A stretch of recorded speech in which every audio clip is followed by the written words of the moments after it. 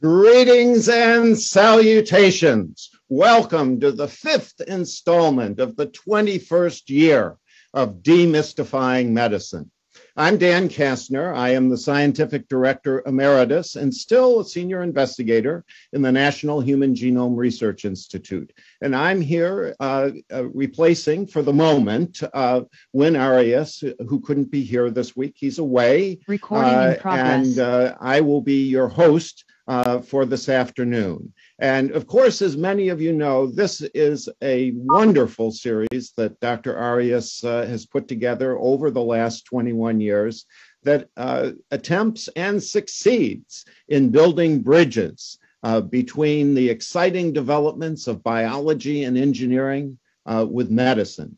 These sessions go on uh, from the beginning of January, January 4th, through the 3rd of May, with the final installment, I believe, being uh, our good friend, Dr. Francis Collins, who will be uh, uh, finishing up uh, the series on May the 3rd. Uh, it is videocast, so for those of you who are not available uh, at four o'clock on Tuesday afternoon. You can view the video cast uh, afterwards or, or view it live uh, uh, between four and six. The course schedule, uh, the, the website for that is listed on this slide. And those of you uh, who attend at least 50% of the sessions and pass a final examination, a very, very tough final examination, will receive a CME certificate.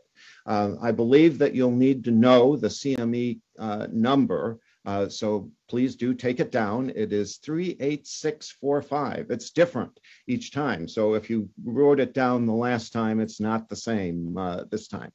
Uh, if you have questions during the course of the presentations, uh, you should use the send live feedback option on the video cast display. And you can do that as you think of the question. And the questions will be tabulated by one of uh, our colleagues uh, here. And then uh, given to me uh, towards the end of the presentation. We'll have questions and answers at the end of the, uh, the two presentations. All of the previous sessions, going back the full 21 years, uh, are available uh, at the website shown here on this slide. And for additional information, uh, you can email the good Dr. Arias, who will be able to answer your questions, I think. So if we can have the next slide, we can see the iconic Brooklyn Bridge uh, at the time that it was uh, being constructed. And this is actually a photo taken with a box camera uh, by Dr. Arias's uh, grandfather back uh, a few years ago. And you can see on the catwalk to the left uh, that there are a couple of guys standing there just casually having a conversation with one another. Uh, and the whole idea here is that by building bridges, we are able to get people to talk to one another and to exchange ideas. And especially now, given the uh, magnitude and the complexity of information that one needs to master in clinical medicine, and similarly, the magnitude and complexity of information that one needs in the basic sciences, it really is too much all to be in one head. And so building bridges and having people talking to one another, that's what's really important. That's what we want to stimulate today uh, so that people get thinking about how to, to make those connections between basic science and clinical medicine. So if we can have the next slide, you will then see the uh, program that we have in store for you this afternoon, and it is a doozy.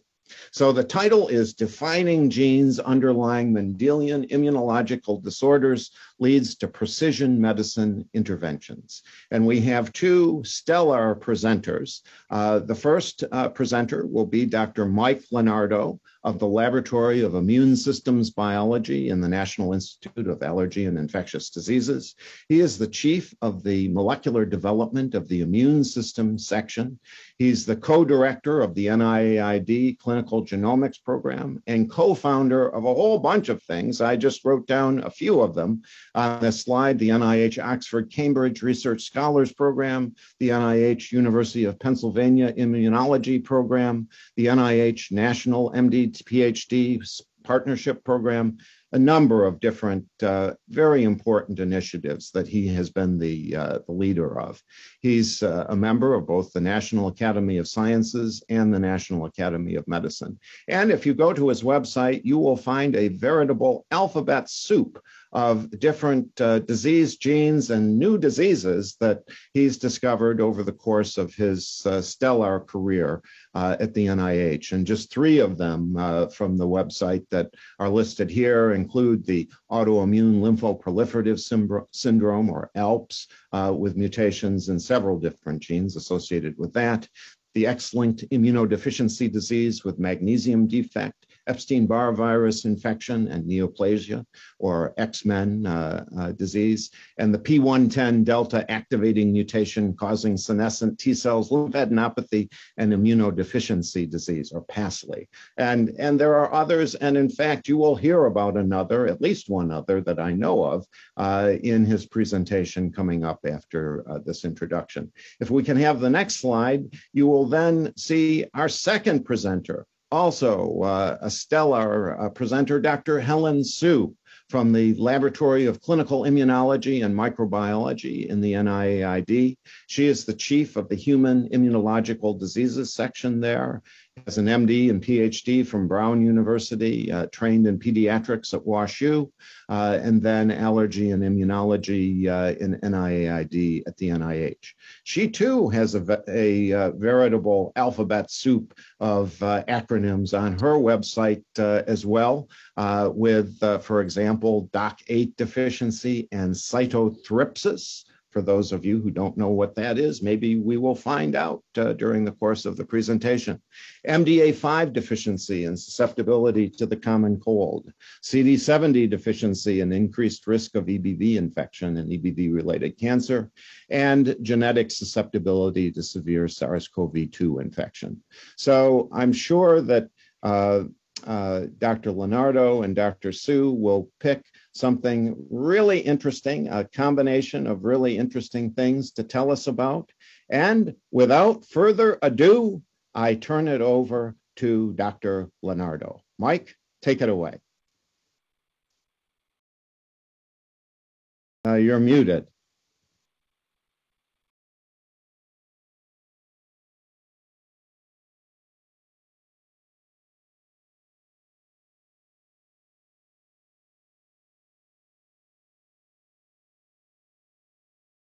We still can't hear you. How about now?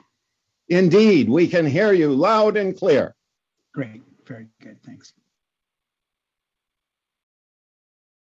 Okay, all right, so Dan, thank you so much for your very generous uh, introduction, and thank you, uh, Dan and Dr. Arias and your whole team uh, for having me back. I, I, looked back at my schedule. And the last time I was here uh, for this talk was in 2013. So it's been quite a while, but it's one of my favorites of all the lectureships at NIH because of its tremendous importance uh, for medical research and advancements in, in, medical care.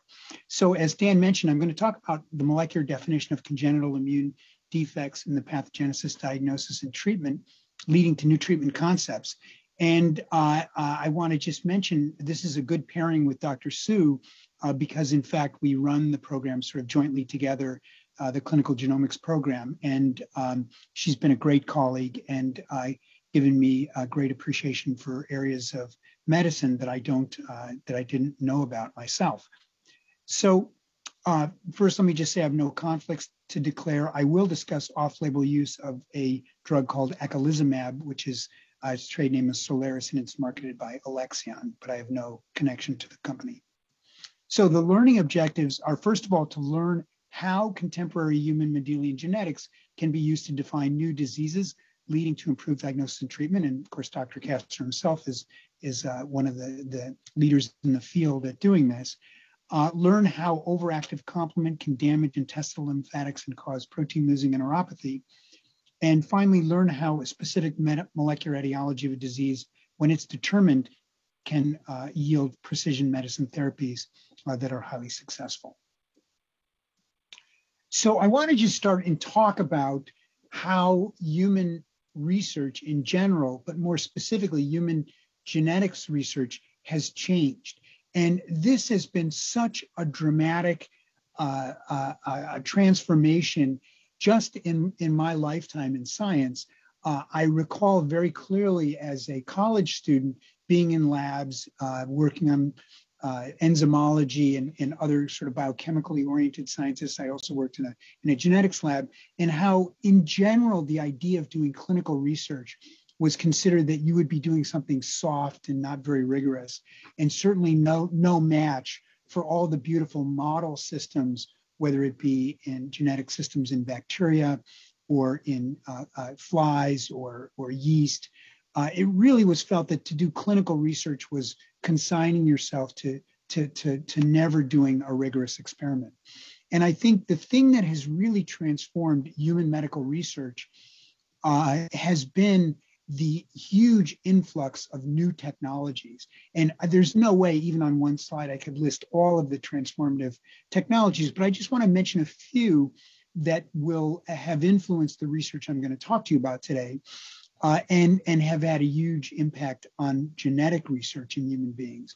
And that is, uh, first of all, of course, the, the enormously powerful next gen DNA sequencing uh, technologies, whole exome sequence or more, more frequently now whole genome sequence, but also things like high efficiency transfection, where you can put DNA constructs into a human cell and interrogate what effects different uh, alterations of the genes have on their impact in the cell. Uh, also, the use of induced pluripotent stem cells. As immunologists, we're very fortunate in that we can take peripheral blood and get a hold of the cells of interest. But if you're thinking about working on the brain or the heart or other tissues where it's not so easy to sample from a living human being uh, those tissues. Uh, now we have these amazing pluripotent stem cells that can be differentiated into the, the tissues of interest and, and, and studied very carefully and rigorously in vitro.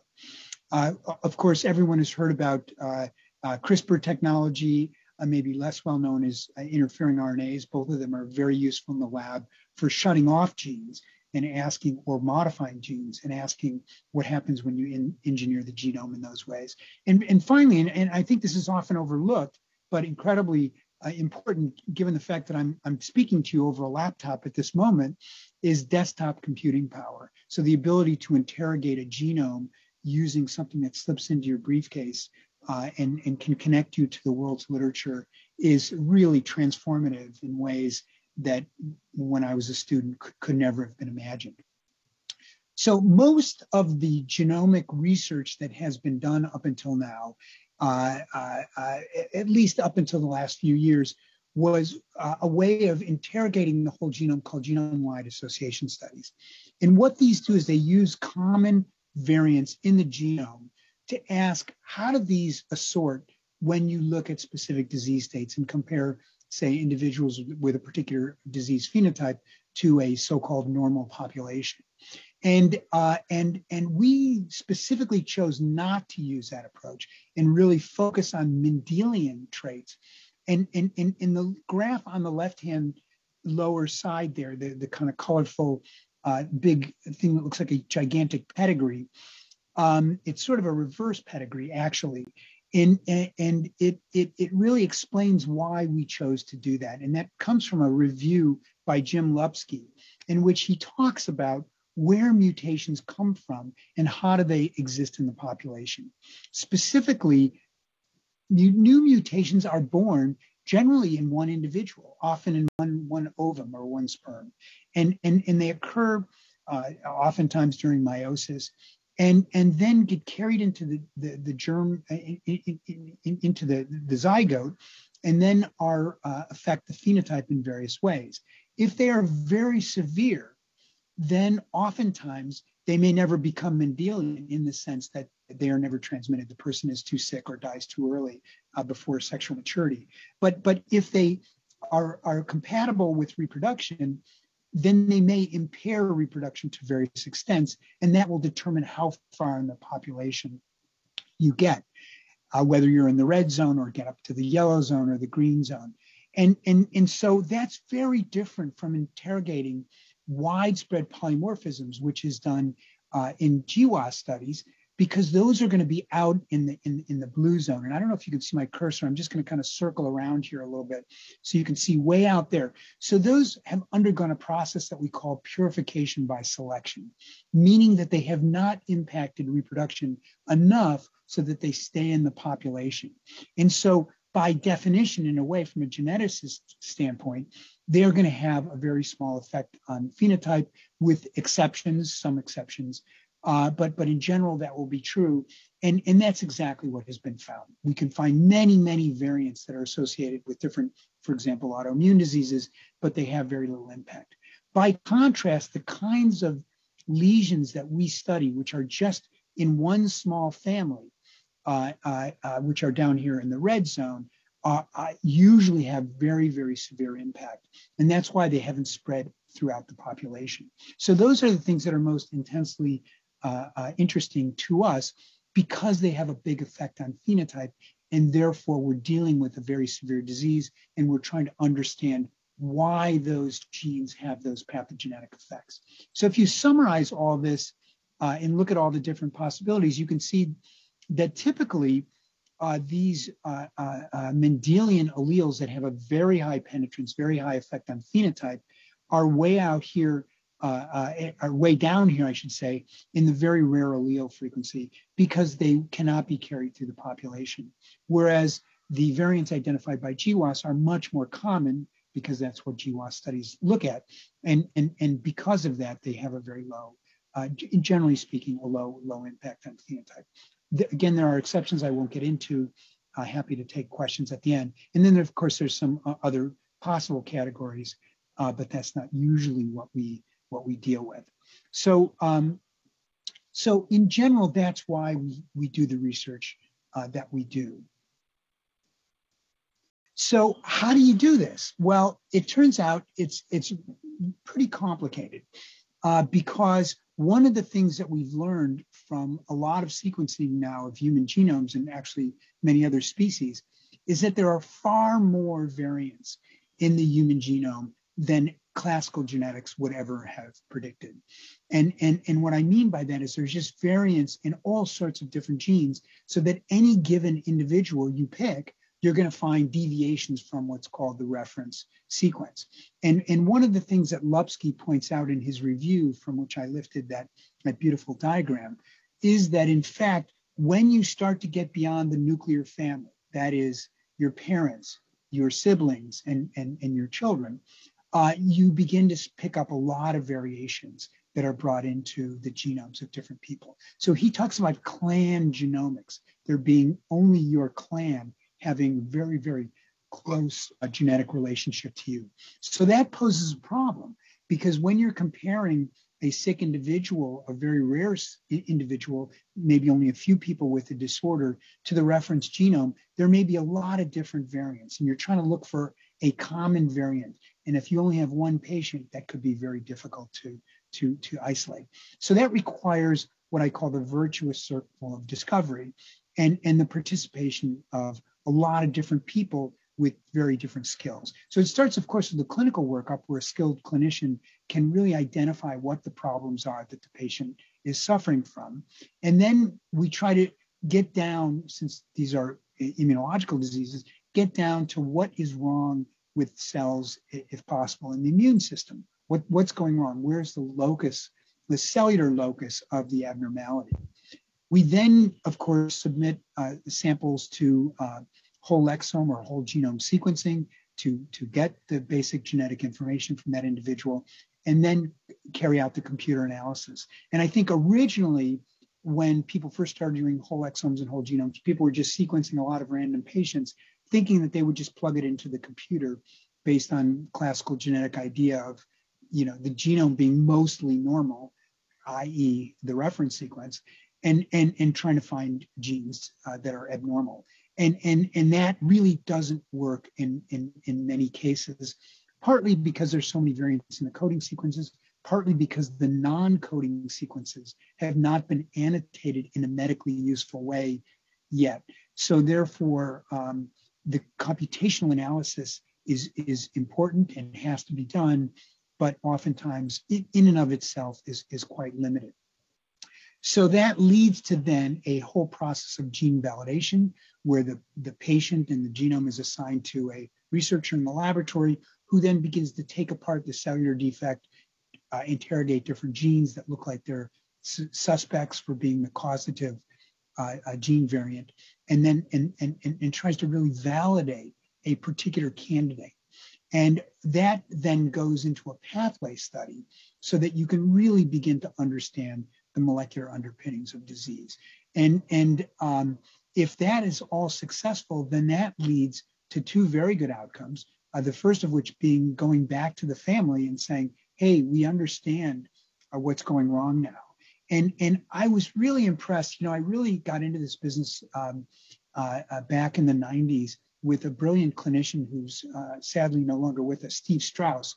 And I was so impressed when Steve would explain to the family that we've identified a gene and and and what it meant for the for the uh, uh, health of the child.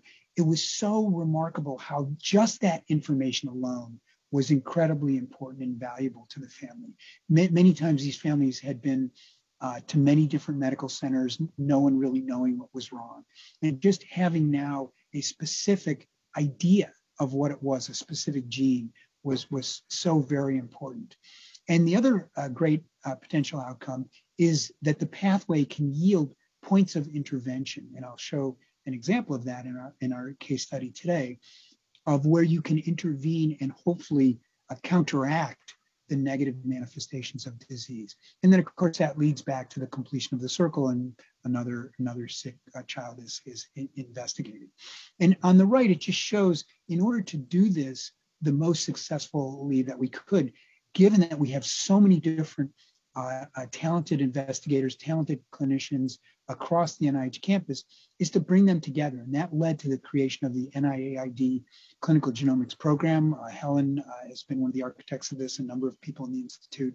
Uh, Steve Holland has helped us build it out with the Central Sequencing Initiative and, uh, and was one of the original organizers with Jeff Cohen, Cohen and, and Dean Metcalfe and others.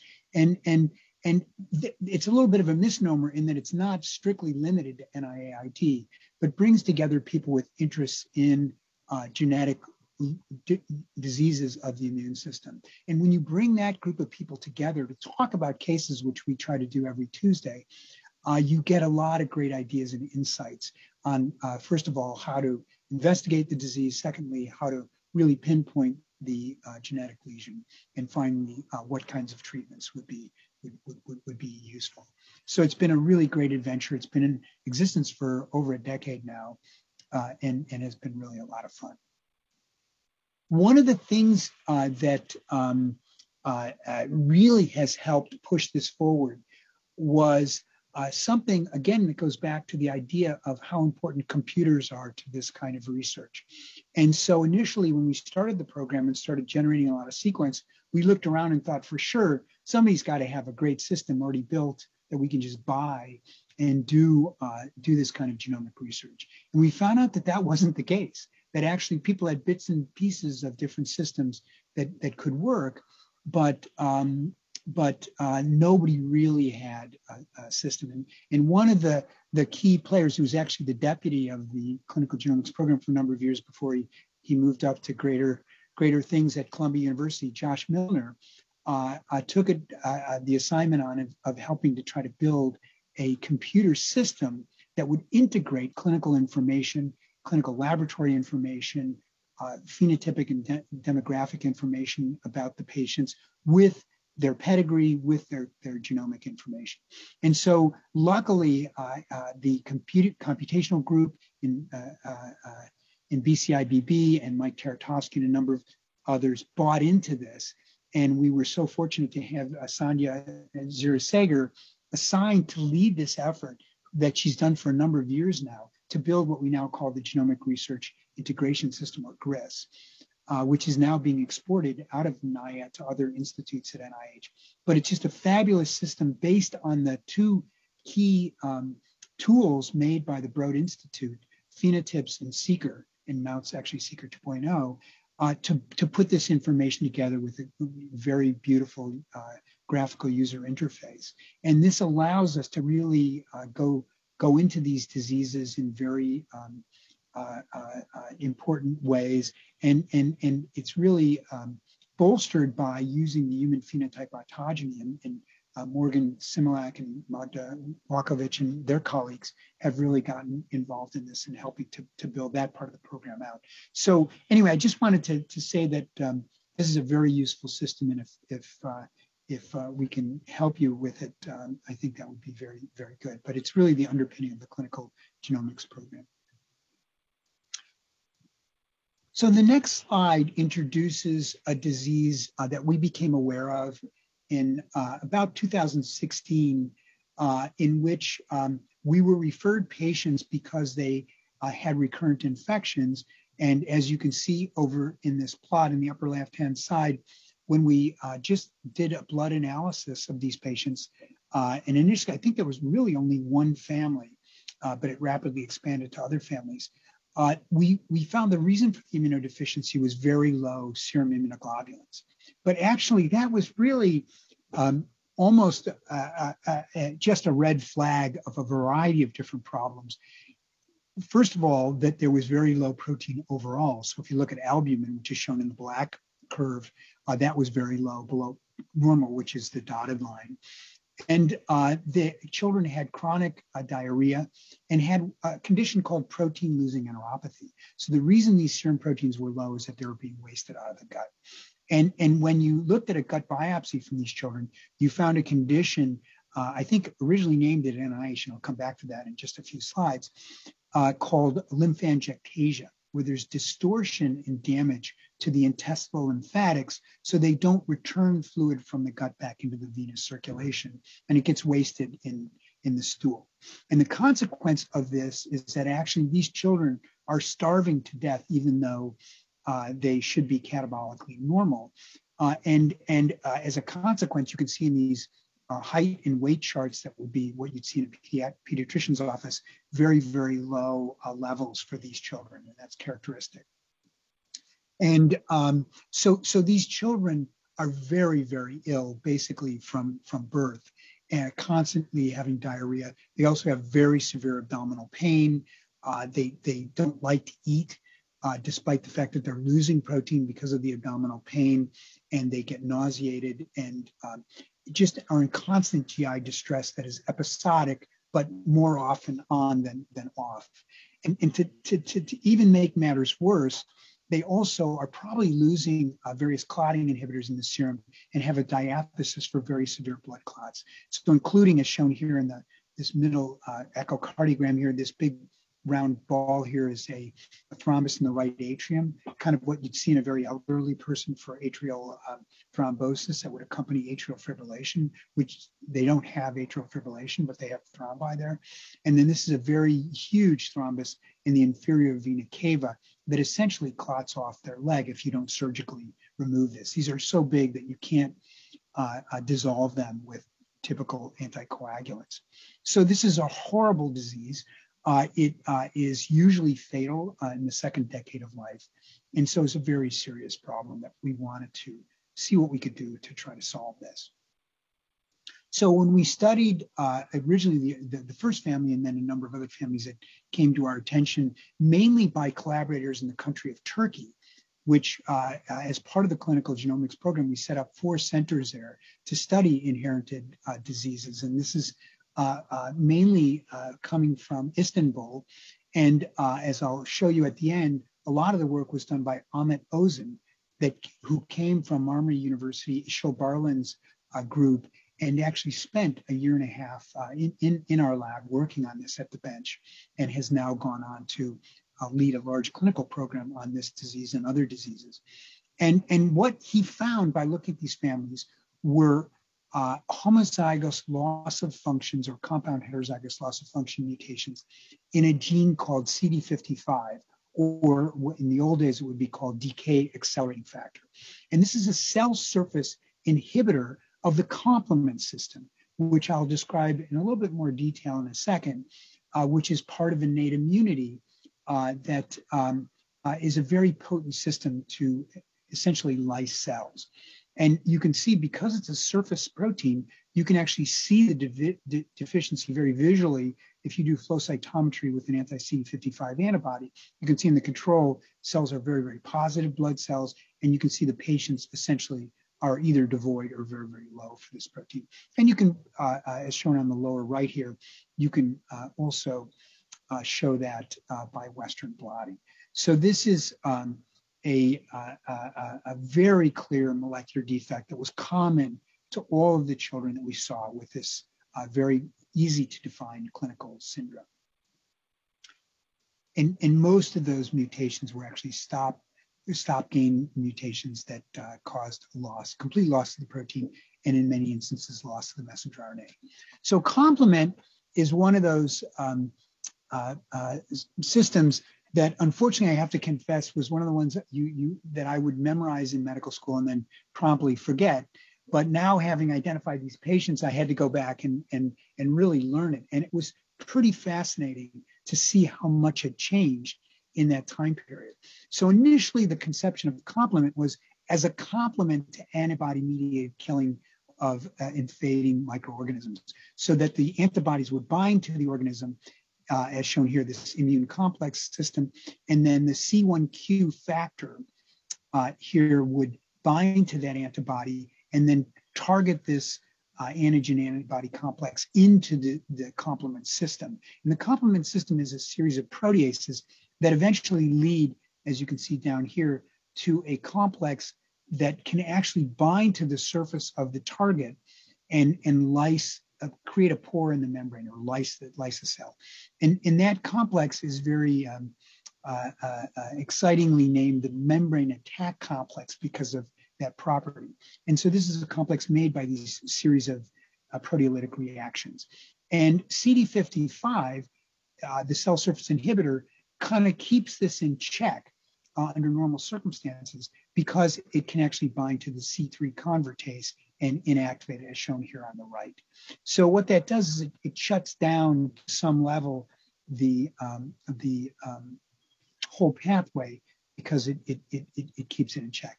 But I want to point out that just in addition to these immune complexes and sort of the standard classical pathway, there are a number of other things that we have heard a lot about in the last 10 to 20 years damage associated molecular patterns, apoptotic cell associated molecular patterns, uh, uh, pathogen associated molecular patterns, all of which can be recognized by specific receptors that sort of look like C1q. These would be mannose binding lectin or ficolin that can also drive these through uh, uh, as, as uh, lectins uh, to the same pathway. So you can see this can be triggered by a lot of different things and almost certainly is triggered by these different things to have this effect. In addition, you can see that the split products of these convertases turn out also have to have very potent biological activities. These things are called um, uh, uh, anaphylatoxins, and they can bind to specific receptors. Uh, many, many of the many of the immune system ha cells have these receptors and drive various things like changes in cytokine pathways and all sorts of innate immune types of reactions uh, that can really modulate how the immune system behaves. And, and even what was even more surprising is that these complement factors can be made by cells of the immune system and secreted in local circuits. So it's much more complicated system uh, uh that has a variety of different roles uh, uh, in the immune um, in, in, immune protective functions, but also has to be carefully modulated because it's a very potent system that can have these effects if it gets out of control on cells of our, our, our own body. So, so what does this have to do with protein losing enteropathy or the kind of gut problems that I described to you? Well, it turns out when you look at the gut biopsies from these children and stain for complement deposition, you can actually see the deposition of complement factors on the cells. And you can even stain and see the membrane C5 to 9 membrane attack complex. So these you will not see in normal gut uh, uh, sections. And that seems to be because, uh, oops, back here, seems to be because these factors get activated in a way that they oughtn't be activated. And the consequences of that are shown here on the right.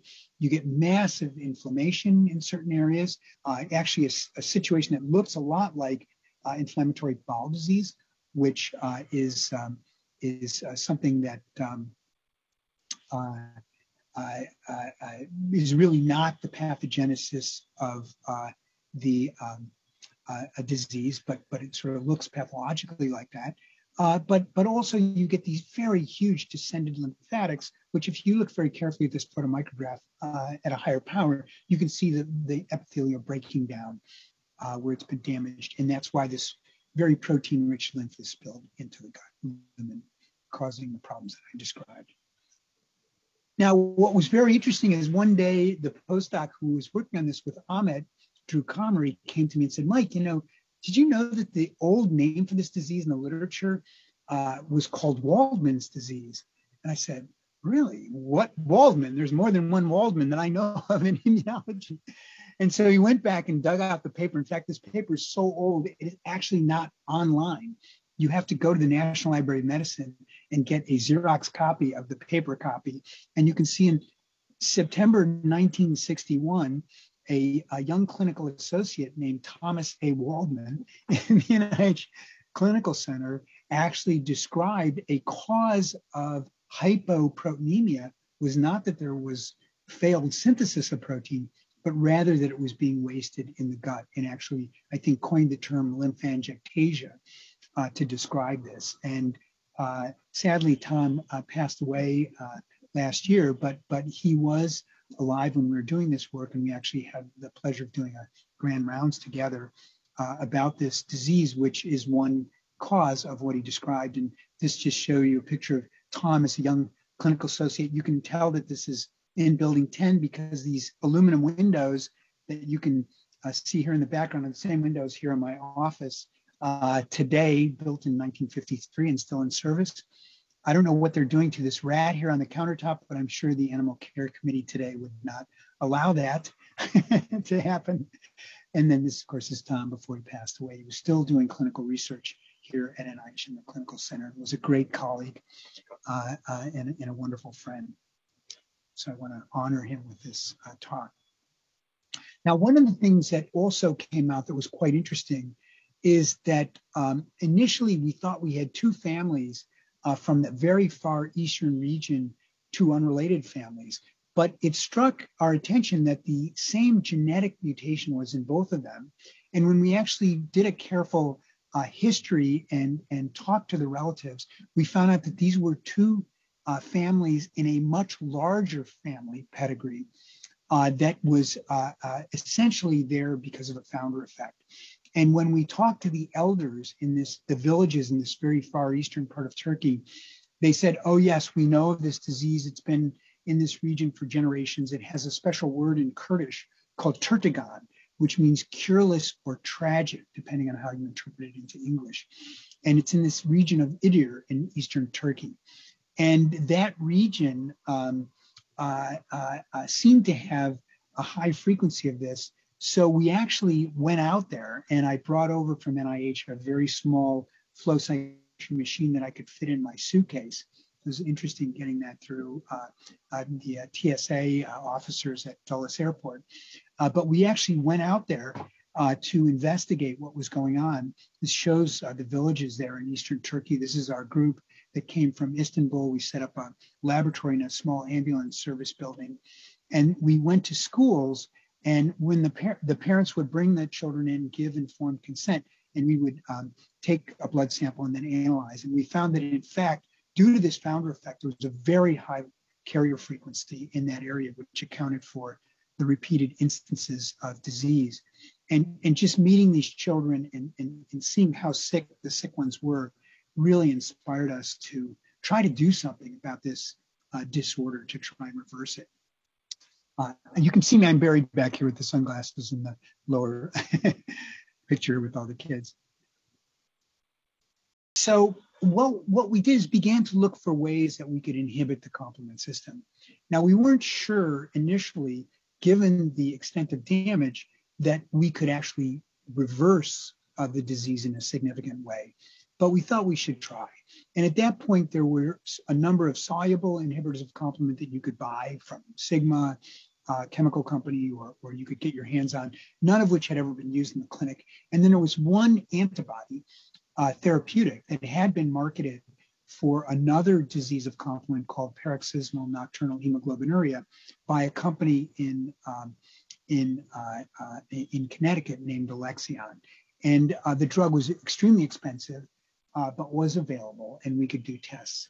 And so the initial tests that we did here showed that the chemical inhibitors, this one in particular, compstatin, or uh, eculizumab, the the MG M5G 1.1 antibody, which is sort of the prototype antibody for the clinically released form, uh, were extremely potent.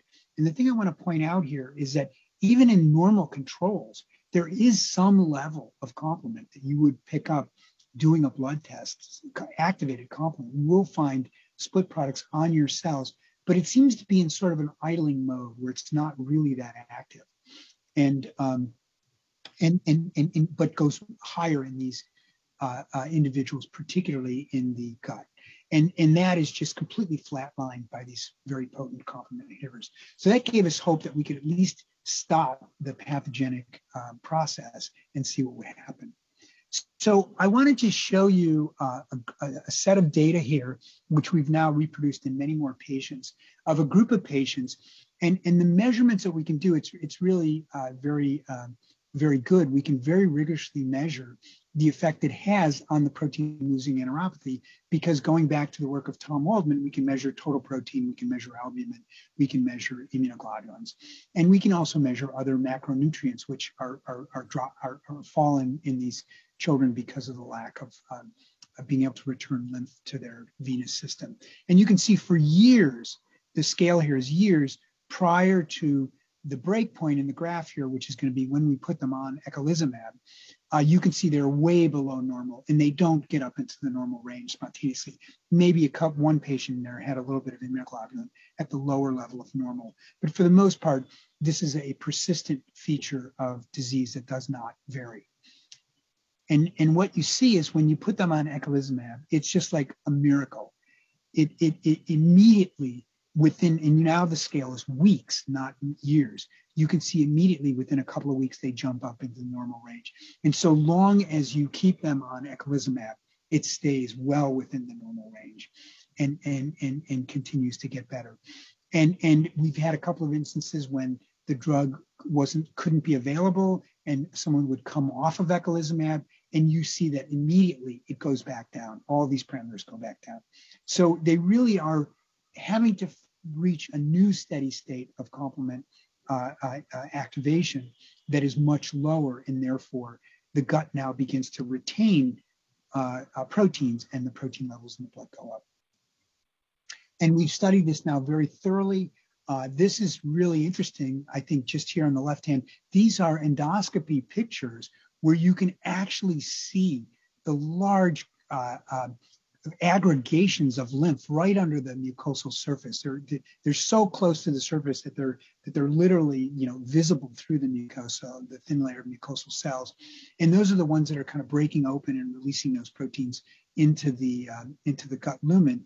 And now, when you treat with eculizumab, uh, this is after several months, you now see the mucosa looks like a normal, healthy, hyperemic uh, uh, gut. That you don't see those aggregates of, of lymph and all sorts of these um, different manifestations of disease, abdominal pain, nausea, vo- oops, vomiting, which, as I mentioned to you, is present in the majority of patients over time, even with to the past year before treatment. So again, not waxing and waning, essentially go to zero after post-treatment. The, the, the children just have no pain whatsoever. And we have actually one patient who has been treated uh, with a new drug uh, that I won't get a chance to talk about today, uh, uh but it's also a monoclonal antibody here at the NIH Clinical Center. And we asked him, what was the best thing about your treatment? And he said, uh, I can eat anything I want. I don't have to worry that something's going to cause me to go into this crisis of pain, nausea, vomiting, and diarrhea.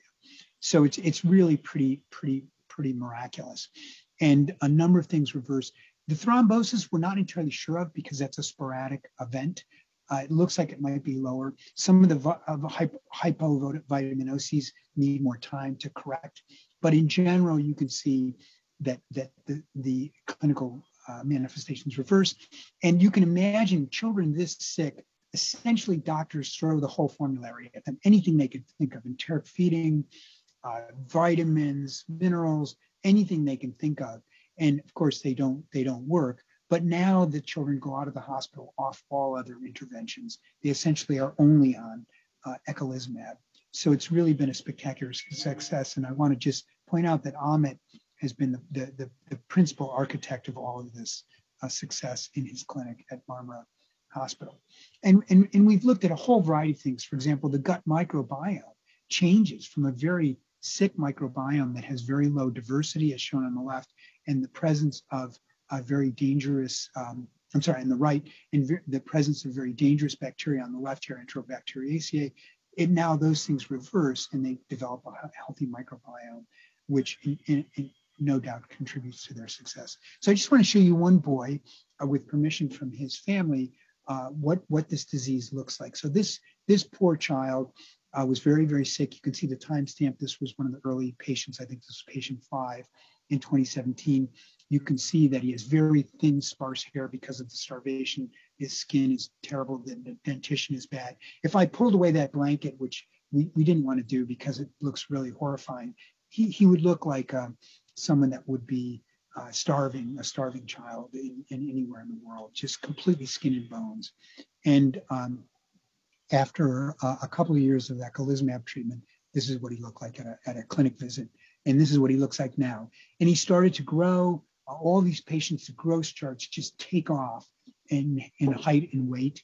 He still will probably be small uh, compared to normal kids uh, his age, but uh, has done uh, very, very well, and, and as have all the other children like this. so I want to stop here and just um, say that we now call this clinical entity CD55 deficiency with hyperactivation of complement, angiopathic thrombosis, and protein losing enteropathy, or CHAPLE disease. And as I pointed out, it's due to loss of function mutations in CD55.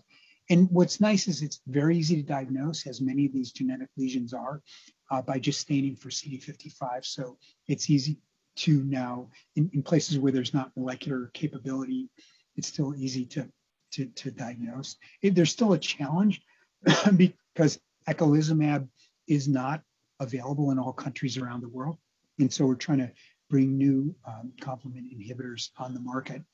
And I just want to point out this was a great meeting we had uh, in Istanbul with a number of children from a variety of different diseases that we, uh, largely in collaboration with other groups at NIH, uh, Gulbu Uzel, and um, just a number of different groups that have been part of the clinical genomics program, defined a series of diseases uh, that now are easy to diagnose. So I point out the diseases, Chai disease, LATAIE disease, uh, CHAPLE disease, XMEN disease, and um, PASLI disease, which we now can yeah, easily diagnose because of various kinds of features of the disease. And we have uh, treatment, uh, four or five of which uh, uh, have worked in various kinds of clinical settings and clinical trials.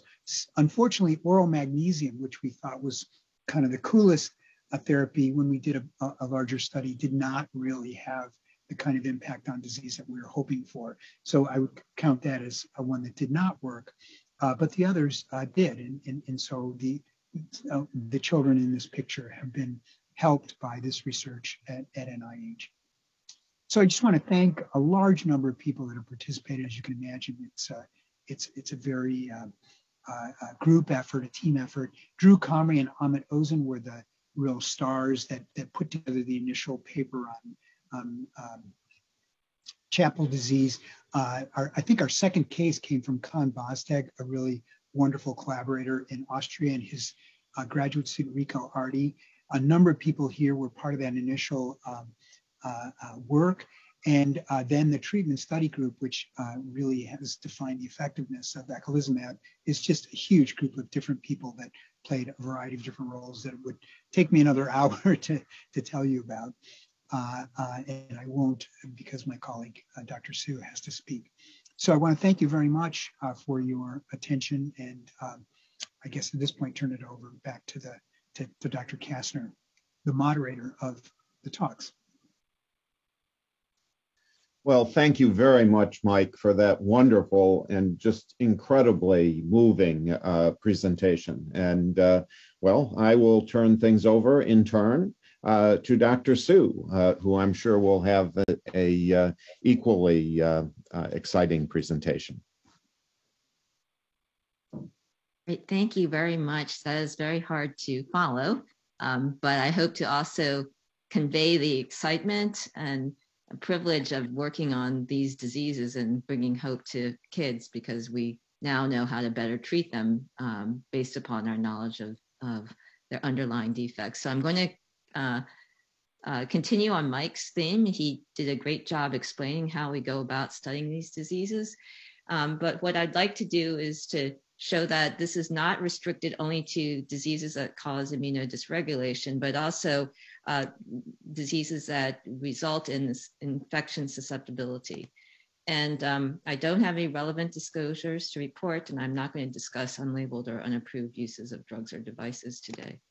So uh, as I mentioned earlier, I think the objective of this part of the talk is to uh, complement the first talk and show you that in some patients, host defense defects may increase virus susceptibility and that we can think of other ways of treating them rather than just treating the virus itself, which is the traditional way of, of treating infectious diseases.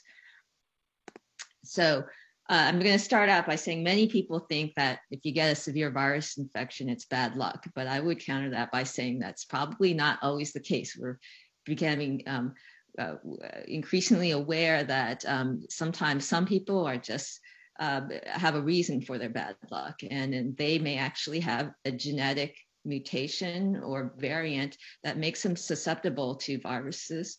And um, if we know exactly what's wrong, that can help you think about new ways of treatment. And so today I'm going to talk about two examples. Um, one is uh, a, a, a, pretty severe disease that's uh, in line with the Mendelian disorders that Mike talked about. The second example is um, perhaps a little bit less clear. Um, it's what we term a monogenic disorder, which there's a little bit more variability in terms of whether you actually have infection uh, problems if you have that particular genetic variant. Um, and so I think this is going to illustrate um, a lot of, uh, of, the applicability of the approach to something uh, new. Uh, so the first disease is uh, DOCK8 deficiency, which is one of our earlier successes. And uh, this you may have heard about because uh, we have a really um, committed patient group at the NIH. This is a disease that's been studied since the 1980s. Actually, uh, when we were studying this disease, I went back to the original clinical notes and saw notes authored on some of the early patients who had died of this disease by Dr. Gallin and Dr. Holland. And the cohort of patients had actually been um, passed down um, to uh, other uh, physicians, including a close colleague of ours that we um, collaborate with, Dr. Alexandra Freeman. So she and I see these patients at the NIH Clinical Center, and it's pretty devastating. As you can see, uh, one of our patients really said she wanted her body to be donated to science to study the research, uh, to perform research and better understand this disease. So um, what we had done at that time was to apply the new genomic technology. So the um, uh, Human Genome Project had been completed. There was a map of the uh, genes and the, the, the, bases that made up the genes, um, a reference sequence. Uh, that was applied um, in this technique called array comparative genomic hybridization, which we're looking for big chunks of DNA that are missing by comparing our patients' um, DNA ability to bind to these oligonucleotides that are unique to the uh, different parts of the genome and they're comparing that binding to binding from a, a, control individual. So you can see by the relative binding whether our patient's uh, DNA is missing hunks that would correspond to certain genes. And we thought this would be a, a, a neat way to, in an, in an unbiased approach, to get at things that might be disrupted, that might be contributing to disease. And we were very successful and we found um, the, the cause of this disease. So this disease uh, is caused by uh, biallelic mutations in this gene called DOCK8. And uh, previously, the disease had been characterized as a form of hyperimmunoglobulinemia E. So these patients have high levels of IgE, which contribute to allergic disease. And it had been thought that this disease was very similar to another disease that had been studying, Job syndrome, which caused a, a lot of problems with uh, skin infections. But if you look more closely at, at this disease, you can see there were some things that were very distinctive about it. And, and rather uh, this disease reflected some problems with uh, lymphocytes, both T cells and B cells, and caused uh, uh, what was a, a, combined immunodeficiency with some unusual features, including um, problems with allergies, but more uh, more interestingly, there was a lot of problems with the skin, much more than we see with some of the other immunodeficiencies. So as you see here, um, we noticed that the patients all had an allergic disease of the skin, atopic dermatitis, uh, uh, but infections were really prominent. They had bacterial infections, commonly caused by Staph aureus. They, some of them had some mild uh, candida infections uh, of the mucocutaneous uh, uh, regions of the body. Uh, but above all, what struck us was that they these patients tend to have really severe problems with viruses, and these are viruses that are are often encountered by all of us, but our body has an intact immune system, and so we don't have problems with warts like these patients do, as you see below, or with um, this other virus. Uh, uh, molluscum contagiosum or herpes simplex virus. So you can see these viruses uh, are cause these rashes. They're really very extensive. They're non-healing um, and they can cause a lot of disfigurement and functional impairment. And additionally, some of these viruses, such as uh, viruses that are associated with warts, uh, in other regions, they can be associated um, with cancers, such as cervical cancer in the skin.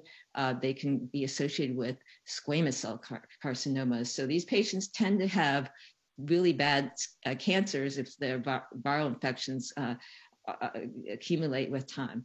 And so you can imagine this is not a, a nice disease to have. In fact, um, when we uh, participated in this uh, comparison of uh, hundreds of patients worldwide in this uh, uh, survey, we could see that overall that uh, the patients have high morbidity and mortality. So by the time you hit your 20s, over half of these patients are dead. And the ones that are alive, you can see, are, are, are still pretty sick and it's mainly the, the disease is caused by those uh, infections and particularly the viral infections and in some cases the cancers. So the big question is how to treat these patients. Um, their viral infections are really difficult to treat. There's really nothing that works well with them. And so we need a new way to, to cure them.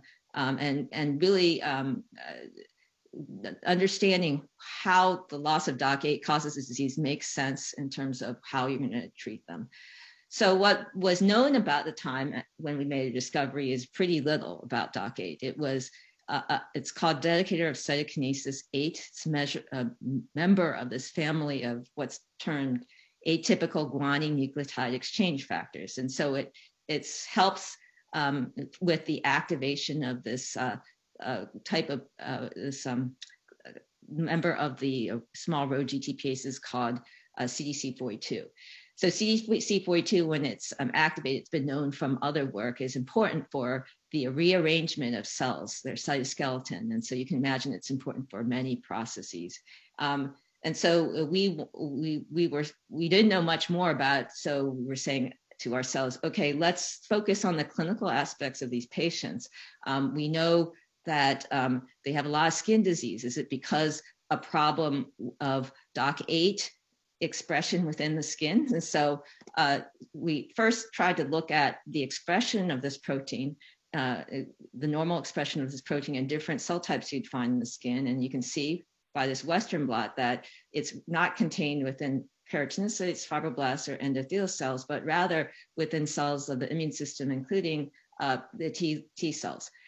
And T cells are very interesting to us because, um, as you may be well aware of, T cells have an important antiviral function. They also function many other ways, but there's a certain class of T cells, CD8 T cells, which are uh, have this property of being able to kill virus infected cells.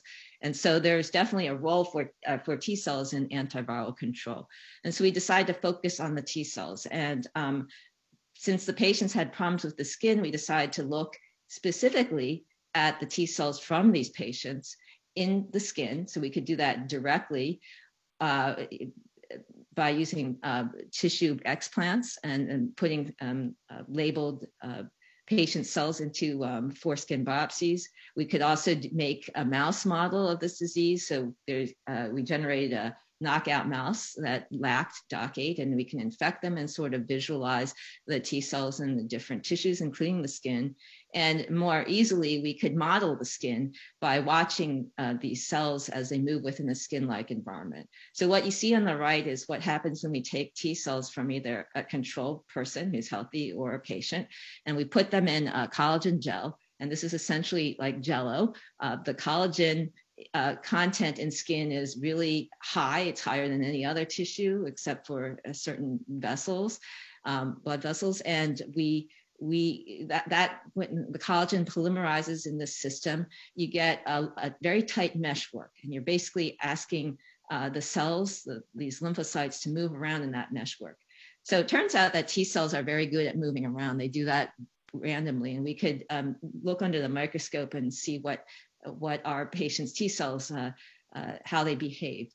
And um, right off the bat, you could see that these patient T cells are very different and um, they are uh, they're not, uh, they have a very unusual shape that's very long and elongated. We call them stretched cells, and the nucleus is also similarly deformed. If you watch these T cells, they um, move, but they move rather abnormally. They sometimes lose a sense of direction and um, they appear to get stuck. Um, and so when you watch them long enough, um, uh, we were able to see something amazing happen. And, and is, that was that the patient T cells here is an example of some uh, a T cell that's been um, watched for over 20 hours in the microscope. You can see it has this abnormal shape. And then as it's struggling to move through, it actually rips itself into pieces. So it shatters. So the cell shattering is how we came up with the name cytothripsis. And you can see this cell essentially tore itself into pieces because it was undergoing a lot of stress trying to go through the small spaces of that skin-like environment, and it's a dead cell. So I'm not going to go into the details of all, all, of the experiments that were done, but we could relate this to the actual phenotype of the viral skin infections in the patient. And it turns out that um, in the skin, there's a special population of T cells. They're called resident memory uh, CD8 T cells. And unlike other T cells that generally circulate through the body between the tissues and the lymphatics, these TRMs stay within the skin, especially in the epidermis. They have a specialized function, and that is that they monitor for virus infections. So the, the viruses that these patients are afflicted, they are DNA viruses. Unlike some other viruses, they are never completely eliminated from the body. They actually hide out in certain reservoirs. And um, an example would be herpes simplex virus. It can go back into this into the nerves. Uh, if you take mice, for instance, and you infect them, they hide out in the nerves, and then uh, it really requires the function of these resident memory T cells in an intact uh, T cell system to suppress that virus, uh, because otherwise, if it's not there, the virus can get out of these reservoirs and infect um, other skin cells and cause a lot of uh, problems. So you can imagine this phenotype that we only saw in the patient T cells when they're put in this specific environment. We do not see this abnormal death, abnormal stretching occur in, if the cell is in an unstressed environment, like in a tissue uh, culture medium dish or in other tissues. This selective death of these uh, T cells results in the inability to limit viral replication. So this is really illuminating because DOCK8 expression uh, its lack of in the in the immune cells means that if you replace the DOCK8 deficient uh, immune system in these patients, you might actually be able to fix this problem. And so you would predict that um, these patients would be amenable to uh, bone marrow transplantation. And so because of the large number of patients that were seen at the NIH, um, we had the group from NCI that was led by uh, Dennis Hickstein and then later Nirali Shah, they were trying to figure out how best to treat these patients. And you can see that they um, figured out uh, great um, methods for having a successful bone marrow transplant. And it's been like magic. This is what happens in the patients when they get the transplantation. You can see that these chronic bad infections of viruses in their skin goes away. Here's an example of the warts before and after the transplantation on the left. And another patient on the right, this is really bad. Um, you can't, uh, persistent herpes simplex virus in the, the skin surfaces within the oral mucosa, it goes away with time. So this is a way to cure the, the viral skin infections, directing towards the host and not the actual virus. Now, the side effect of this is that the transplant also uh, happens to cure certain other aspects of disease that are include the uh, tendency for allergy. So one of the facets of this disease is that they have an allergic inflammation of skin, the atopic dermatitis. And when you transplant them, you can see before and after that goes away. And this is probably because we're getting rid of these pathogenic T cells, which uh, in early work we had shown on the right um, made a lot of of cytokines that are associated with allergy, uh, IL-4, IL-13 that can act on mast cells, et cetera. Um, so when you do a transplant, you get rid of these pathogenic cells. But if you go back one step further, in more recent work that uh, we collaborated with Judith Mandl at McGill, she sort of tied in this uh, allergic profile with our original observations of the cell shattering. So it turns out that cytothripsis doesn't only happen in lymphocytes, it happens in mononuclear cells. And if you look at dendritic cells, they undergo this cell shattering and some very beautiful work that she did using conditional mouse knockouts and adoptive transfers, she could delineate this pathway where those dead, uh, those dying fragmented cells make uh, products like IL-1 that feed onto T cells and cause the production of GM-CSF and a feedback mechanism that is important for the generation of, the, of these allergic mediators. So, um, so overall, I think um, this illustrates nicely a, a, condition where we're directing our therapy towards the host, not the virus, and um, and and it makes sense, and uh, it's probably the best way to to uh, treat these patients. Um, so this is a, a disease that is uh, pretty devastating, and it has a very high disease penetrance.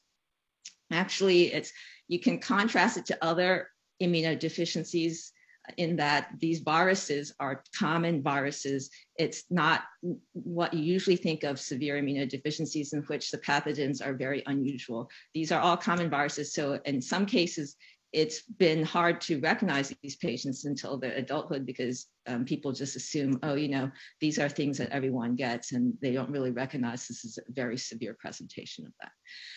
Okay, so I'd like to contrast this to a different situation that we've gotten more interested in, and that is uh, in some patients, their problems with viruses are much more selective.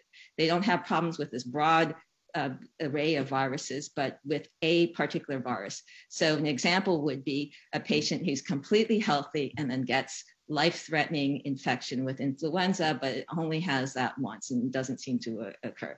Now, you normally think that this is bad luck, right? Uh, but uh, at least in a few individuals in the past couple years, both we and also the Casanova group in um, at Rockefeller Uni University have identified that patients can have genetic mutations that can predispose them to these, uh, these poor outcomes. And the genetic defects are much narrower. They seem to affect this part of the immune system called the innate immune system. And so there are other parts like the T cells and B cells all work well. And so they usually don't have any other associated problems that you would typically uh, see with when there's a broad defect in adaptive immunity.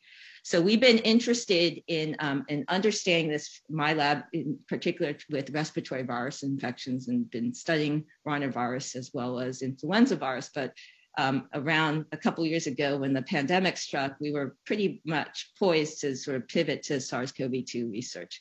And so we teamed up with Jean Laurent's group in this uh, collaboration that uh, we both direct uh, a, a, consortium that is dressed, uh, that is aimed to address why is it that not everyone who gets infected with this virus gets sick. Um, and so it turns out, as you are all pretty well aware of, it's only a minority of people who, who develop life-threatening uh, COVID-19 disease. And uh, our hypothesis was that these individuals had certain genetic variants that could predispose them to infection.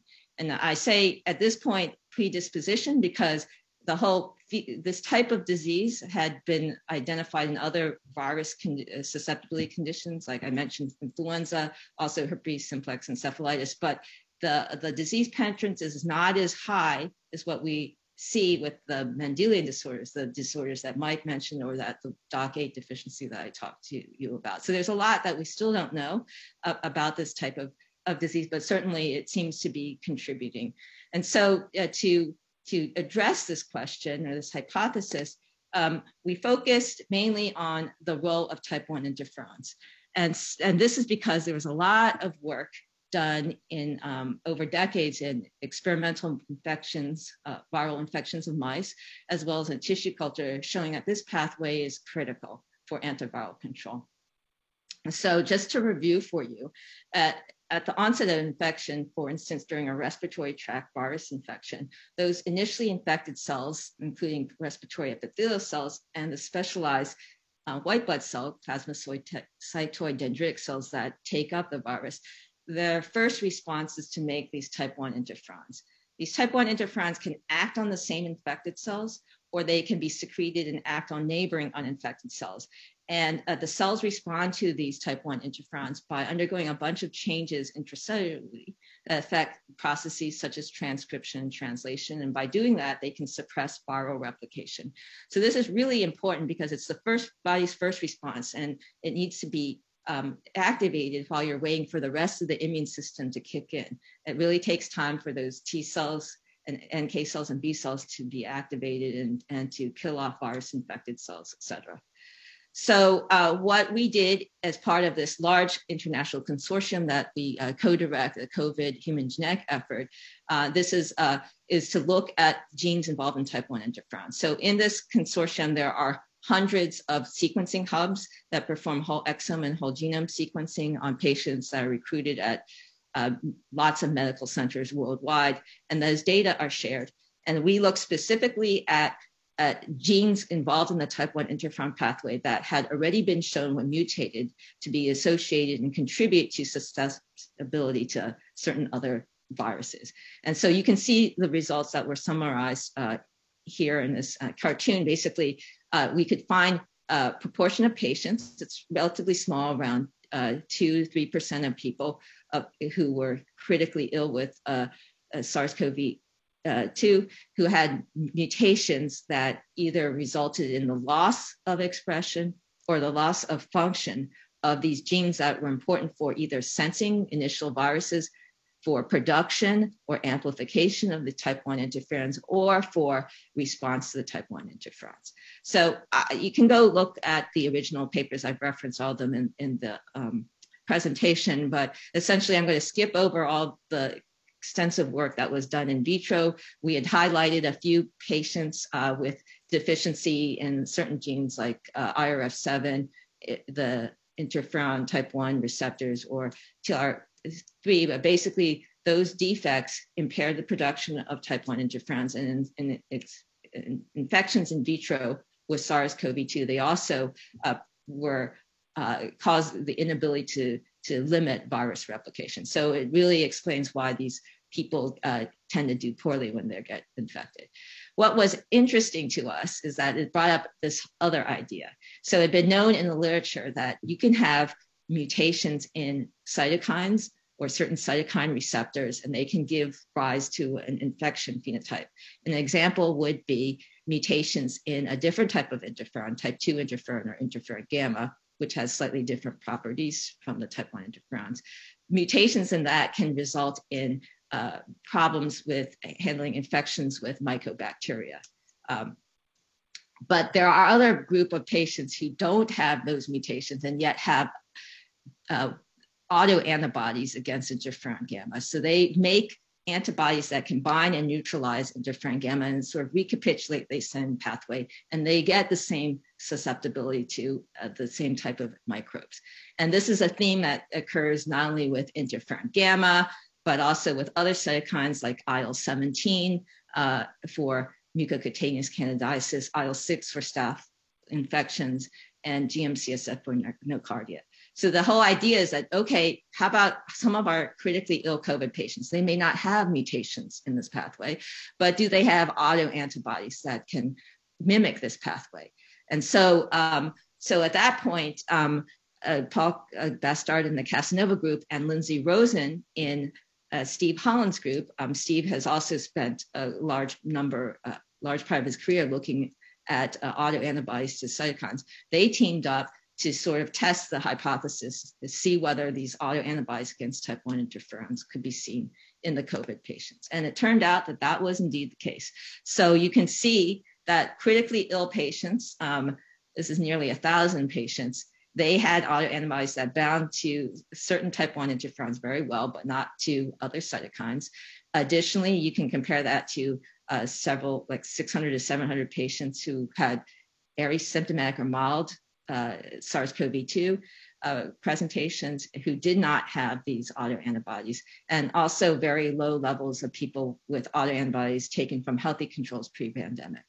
And not only did these autoantibodies bind to type 1 interferons, but they actually neutralize the function of those type 1 interferons.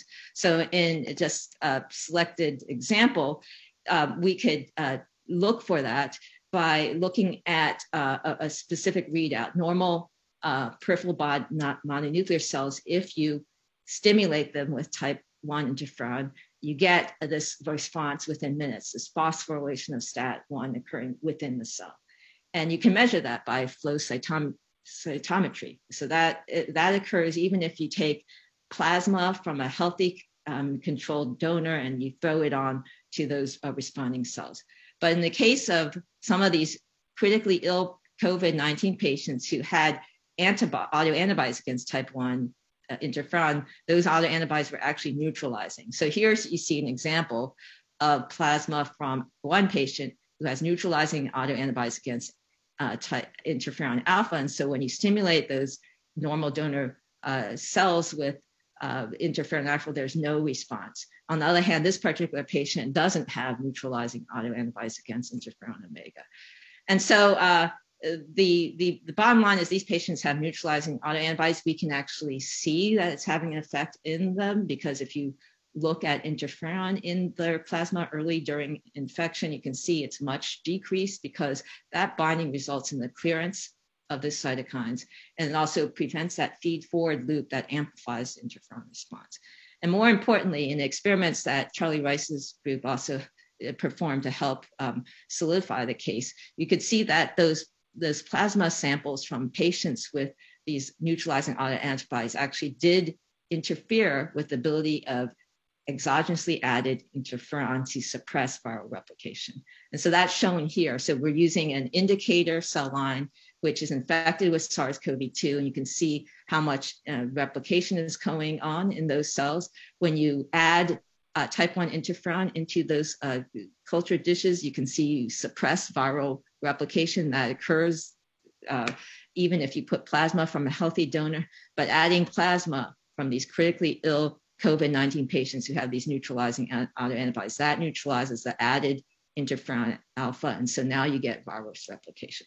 So uh, it, it, it, indicates this is quite significant. And it turns out that there's uh, other associated data showing that the presence of these autoantibodies in the patients has an effect. So here you're, you're seeing that if you had autoantibodies to type 1 interferons, you actually um, remain persistently positive for um, SARS-CoV-2 in a PCR test for longer periods of time. It also tends to be associated with uh, increased likelihood that you'll be in the ICU. Uh, curiously, though, it doesn't really affect mortality. Uh, so what this tells us is that the, these autoantibodies really seem to have their major effect early on during infection. And um, if you convene early on, you might potentially alter the fate of these patients. So it'll be really important to identify these patients. It turns out that um, uh, depending upon the different centers, you can get anywhere between 10% to 20% of critically ill patients actually have autoantibodies. And so let's see whether we could identify them early and see whether you could do something about it. And so um, I just want to point out that that might be a little bit complicated because um, we found in some additional longitudinal studies that if you take these people with these autoantibodies and you follow them over time, what happens is that those levels of autoantibodies decrease as, as they recover from uh, the virus. And then um, that's not only in terms of binding, but also in terms of neutralizing activity. And whereas most of them maintain neutralizing activity, there are some which lose that activity. So if this goes back, back down to baseline, you really need a very sensitive way to detect these autoantibodies at a time early before they get infected. Uh, so that's a big question. But um, if you could identify them, you could presumably um, intervene with them. Uh, so, um, so because of the importance of this, I think um, Paul Bastard and the Casanova group, um, we, we went back to address whether you could get a more accurate um, measure of people with these autoantibodies against type 1 interferon. And since the earlier studies were looking at very uh, the ability of the plasma to neutralize um, levels of type 1 interferon that are super physiologic, he decided to go back into all those samples and see whether we can detect more people who have these autoantibodies that would be able to neutralize the levels that you would typically see in the viral infection. So this is um, at least 100 fold lower than our initial studies. And when you do that, you can pick up more patients, not only at, um, in the controls, but but much more patients in the critically or severely in, infected patients. And that's where you're getting about 20% rather than initial studies of 10% of the patients who would have those autoantibodies. So this is why it's so important because you can see that this is a major uh, risk factor for outcome. Um, we're looking here at the infection fatality rate uh, after infection with SARS-CoV-2 here's what you see in the general population. As we all know, as you get older, you have increased mortality from the virus. If you're male, that's another well-known factor that makes you worse off. But if you have these autoantibodies, you have higher risk of actually um, getting um, critically ill and even dying from the virus. So, um, so knowing this brings up a whole bunch of questions. Um, can, is there ways that you can bypass the defect? Clearly, in those subset of patients who have the genetic defects, as long as you don't have a mutation that actually impairs the receptor, you can bypass the genetic defects by directly giving interferon, type 1 interferons. And we know that interferon, um, for instance, is FDA approved for use in other therapies. And, um, you know, actually in our DOCK8 patients, they had been treated uh, with uh, unsuccessfully with interferon to try to suppress their uh, viral replication. But this might be a different setting, which might be useful. Another idea is that patients who have autoantibodies, maybe you could get rid of those autoantibodies if you do it early enough. You can remove the autoantibodies by plasmapheresis, or you could potentially also give them um, type 1 interferons that are, are not specifically neutralized by uh, these autoantibodies. So uh, there's a lot of studies, I think a lot of interest in trying to follow up on those. And uh, clearly, clinical trials are needed to determine whether knowing that target and intervening will make a difference. But at least it sets us on a pathway to think of how to be uh, smart about treatment. So I hope um, by these examples, I've shown you that we can not only think about antivirals to treat viruses, but manipulating the immune system. And this is part of the rationale for vaccines and such. But you could also think of genetic defects that alter the function in specific hosts and, and develop ways in which you can uh, therapeutically target these defects to uh, you know, result in a personalized way of treating uh, these patients' viral infections. Okay. So uh, as you can imagine, this is a lot of uh, work done over the years from many, many groups. And uh, there's literally thousands of people in these involved in these studies, so there's no way I could include everyone, but I just wanted to highlight some of our key collaborating groups, both at the NIH and elsewhere. So for DOCK8 deficiency, um, longstanding uh, close collaborator of ours is Dr. Alexandra Freeman. Uh, and we've also worked with the NCI group for the transplantation, uh, Heidi Kong uh, for some of the virome studies I didn't talk to you about, multiple other centers uh, to address other aspects of, of physiology, pathophysiology in the disease. Uh, for COVID 19, as I mentioned, um, uh, we've been involved with these studies uh, through the COVID human genetic effort and the Casanova group. Um, at the NIH, we have uh, another consortium that we um, have uh, set up the NIAID uh, COVID consortium that includes Gigi Notarangelo, uh, Steve Holland's lab, and Mihalis Lionakis. Uh, uh, our genetic studies and where we're doing the sequencing of uh, whole genome sequencing with COVID is not possible without uh, a collaboration with Clifton Dalgard at the American Genome Center at USIS. And of course, um, a longstanding and close collaborator of Mike Lenardo uh, who also co-runs the NIAID clinical genomics program. It's been great um, uh, because Mike has this really strong, very uh, uh, uh strong basis in in um, fundamental basic science and and bring it together with the clinical uh, observations we make It's been very productive and a lot of fun.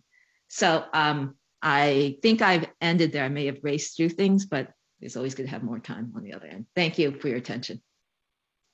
Well, thank you so much, Helen and Mike, for that fantastic uh, uh, series of presentations. And I must say that it was even better than I had uh, imagined that it could be. So uh, there are lots of questions uh, for the two of you uh, with regard to some of the, the details. It certainly is very thought provoking. And I guess that I'll turn the first question to Helen.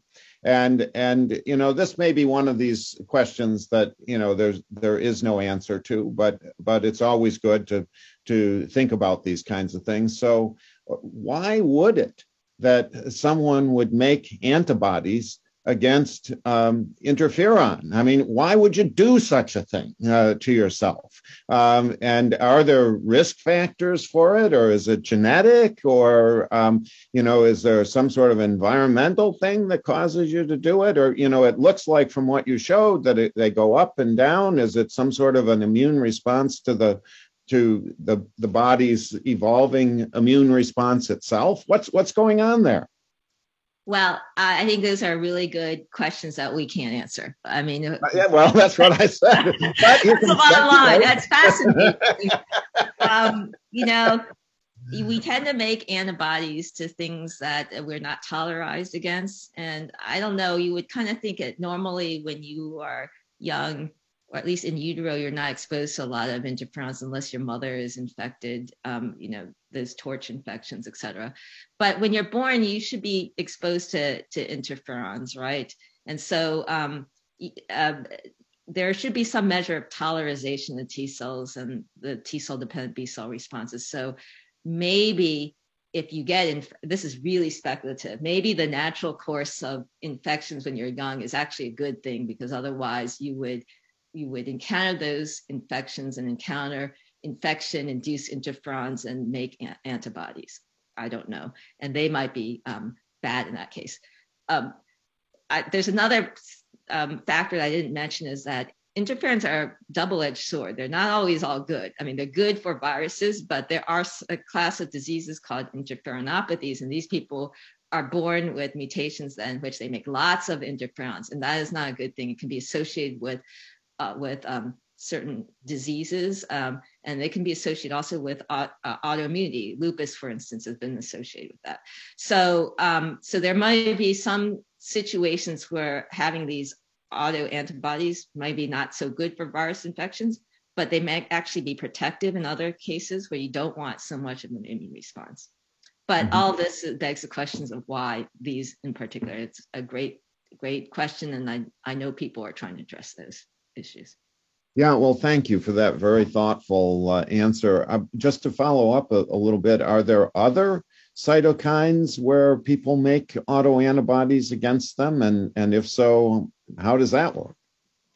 Yeah, I think I went through this really quickly, but I tried to say the whole idea that we were looking at auto antibodies to type 1 interferons was driven by the fact that there are other diseases with autoantibodies against other cytokines. So there are examples of autoantibodies to interferon gamma that can result in mycobacterial susceptibility, autoantibodies to IL 17 associated with chronic mucocutaneous candidiasis, autoantibodies to uh, IL 6 and, and, and, invasive and skin staph infections uh, that very much look like what you get when you have genetic defects in the same pathways. Why do you get those autoantibodies? Um, now, in some cases, it may be related. We, we know, at least in the case of interferon gamma autoantibodies, that it can be related to your HLA types and, um, and probably exposure because people who develop that tend to be in Southeast Asia. Uh, but a lot of the same questions what is it that triggered the production in the first place? Uh, you know, exposures, other genetic factors, or others. We we don't know in uh, detail.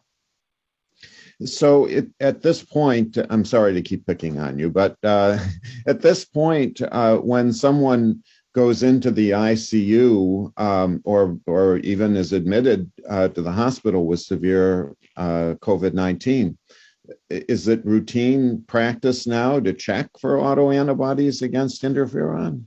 No, it is not routine. Um, you know, I think there's there's clearly uh, an association that if you have them, you're at higher risk, and it would be nice to know if you can detect them, whether you can change the, the outcome. But this is not something that is routinely used um, and tested. And part of it is is that um, you, have to be able to interpret certain levels as as being associated with a clinical outcome to do anything. And I don't think that data is quite solid yet at this point. Um, but there's a lot of interest to, to try to do that.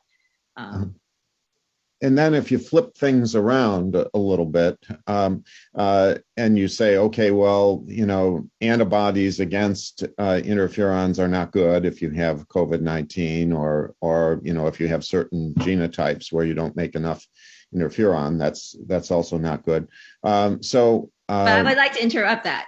So it may be not good for getting sick and going to the ICU, but it may actually be protective later on because you'll notice from the mortality curves that it didn't make it mm-hmm. you more likely to die. It just made you more likely to land in the ICU. So as I said earlier, interferons are a double-edged sword. Too much interferon or not enough interferon, they can have different effects. So it may be protective if you're really sick. You don't get more likelihood of dying.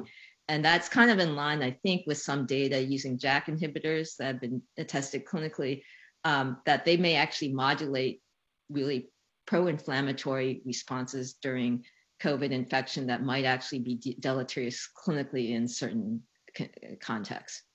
So. And so this this next question sort of goes along with what you were just saying, and and that is the question of uh, how effective are interferons in the treatment of um, uh, COVID nineteen. Have there been any trials, and and if so, have they how how have they done? The late trials haven't been effective, but I would argue that everything we know about how interferons work, you would want to give them early.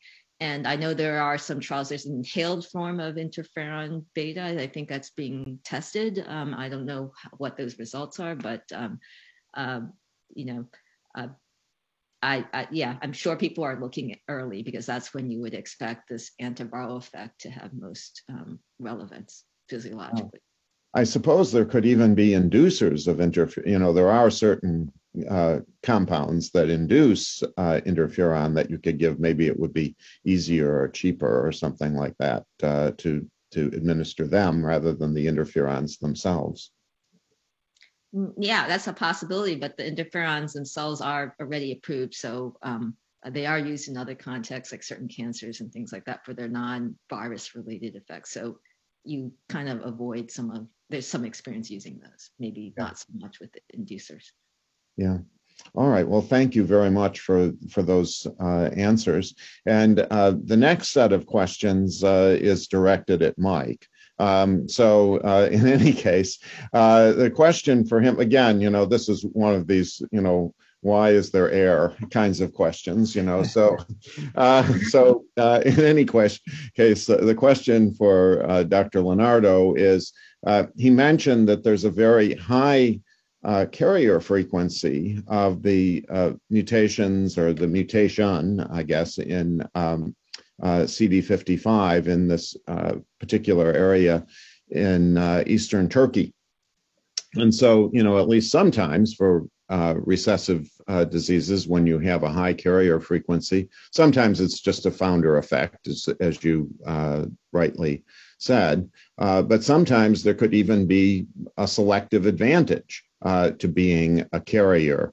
Uh, for these mutations. And so the question would be Is there a phenotype, maybe just an immunologic or biochemical phenotype that's associated with being a carrier for such a mutation? Um, and, um, you know, would there be any evidence or has it been looked at, you know, with regard to, you know, could there be uh, a reason and um, a, uh, an advantage for those individuals who, who carry the mutation? Yeah, that's a really good question. I think um, right now it looks like the HETs have no deleterious phenotype. So, uh, you know, people in the family that are heterozygous for the mutation are going to be fine, so they can pass it on. And of course, in Turkey, we know that there's a lot of um, uh, intermarriage, consanguinity, particularly in these very rural areas. uh, where there is um, they're in small villages and the only available spouse may be in your village. So that tends to to to create the founder effect um, penetrance.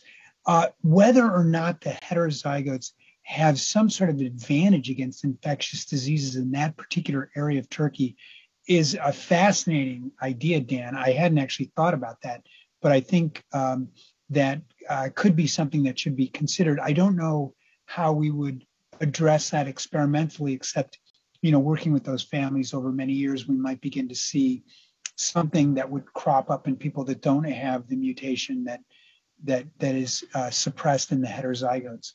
Um, but um, uh, but I think right now the, the groups in that region, the the people have very large families, and uh, actually many kids die of this, and they just keep having more kids. And um, there are some on the on the edge of the spectrum that can actually be homozygous and live to reproduce, but hmm. uh, generally they're pretty sick, uh, and, and, that doesn't happen. Yeah, yeah. Well, it's it's really uh, interesting. Um, you know, you would just think that because the the patients themselves with two hits uh, do have this hyperinflammatory uh, phenotype, and so it could be that one hit would would in some way uh, be protective, you know, against something uh, that would be uh, seen in that part it of it. It could be, and, and I think the thing that um, that goes along with that is that we you do have that idling. So I think if we were to carefully study all the hets, the question would be: Would you actually see more robust complement responses? You know, maybe just you know to to normal uh, commensals or to to you know pathogenic bacteria or other microorganisms. It's a really really interesting thing to think about. And is it all the same mutation in in that part of Turkey? Uh, you said it's a founder effect, so I guess it must be region, all the yeah. same mutation. Uh-huh. Just in that region, yeah. But but and that's what kind of keyed us into that, that region because there were two because we thought were independent that come to Istanbul for medical care, and we had no idea they were related. But then eventually, when you get that gigantic pedigree, you realize they're different branches of actually the same family. And um, but all throughout Turkey, and in fact throughout the world, there are cases in many other countries, uh, Pakistan, um, uh, Thailand. Uh, they're, they're, different mutations. There's no hotspots in this particular gene, and they're usually lost of function. I see. So there are uh, other known mutations in this gene that, yeah, that yeah. a similar phenotype. Yeah, very similar.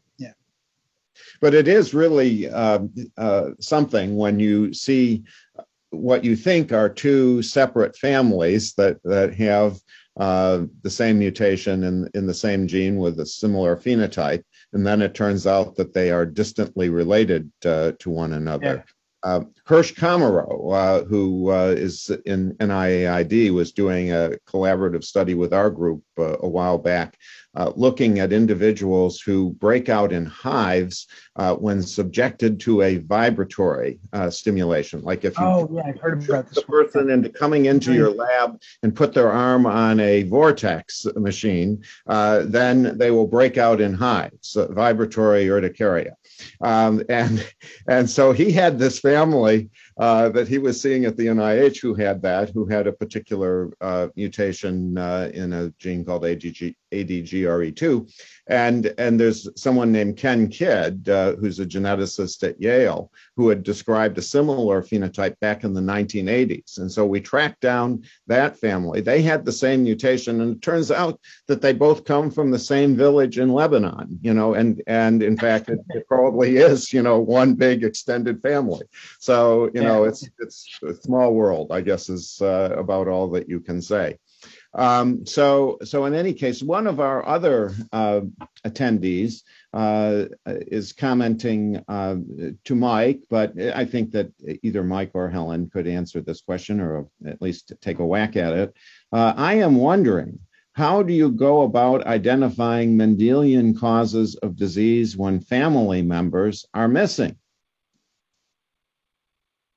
Well, that can be a big problem uh, because you know, I, I think it, it that problem illustrates a broader issue that uh, sometimes I think paper reviewers, study sections uh, don't don't don't understand, and that is doing human research has a whole sociology to it, which is the sociology of humanity.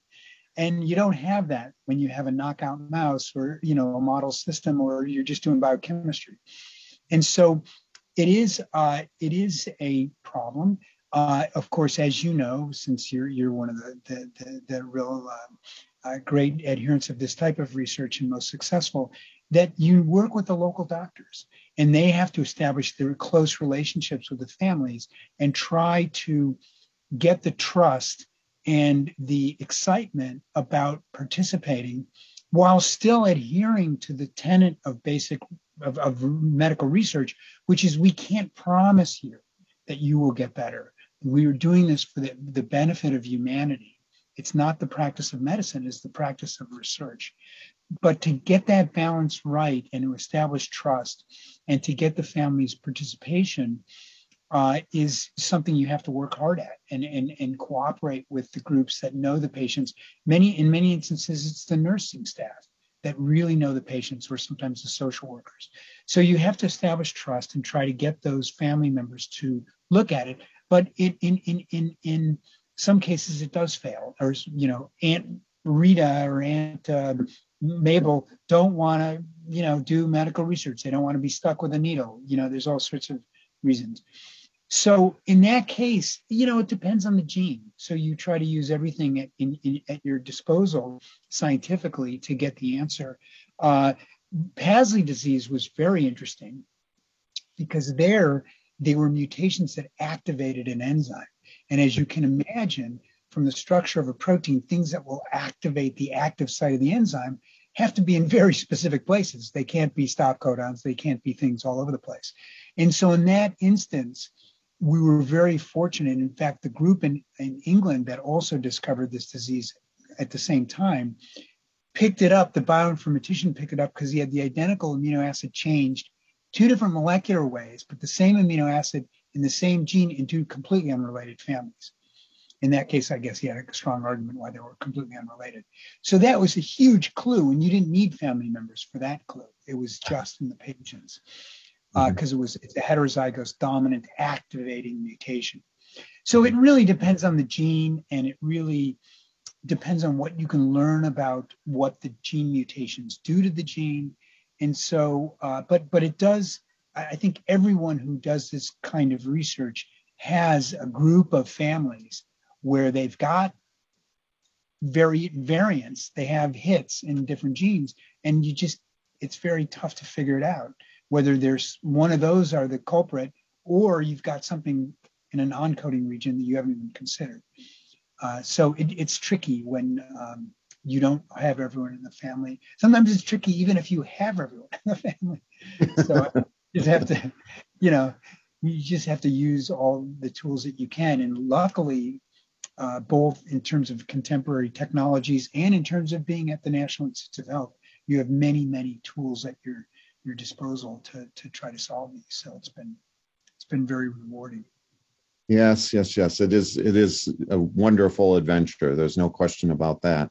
So then, maybe uh, going on this riff a little bit uh, with regard to non-familial uh, kinds of things. Uh, what about um, somatic mutation? Uh, and its role in in these kinds of uh, diseases. Um, somatic mutation, of course, is something that is common. Uh, you know, we see it all the time in in cancers. Um, do you see that ever in in um, you know immunologic disease? Yes. So um, one of the really most exciting studies I think I've ever read uh, was uh, a study by a guy named Fred Rieux-Laucat, who worked very closely with Alain Fischer in Paris. And um, you know, we were we were stumped by a number of different patients with a disease that I worked on with Steve Straus and his colleagues, uh, Tom Fleisher uh, and Elaine Jaffe, called ALPS, autoimmune lymphoproliferative syndrome.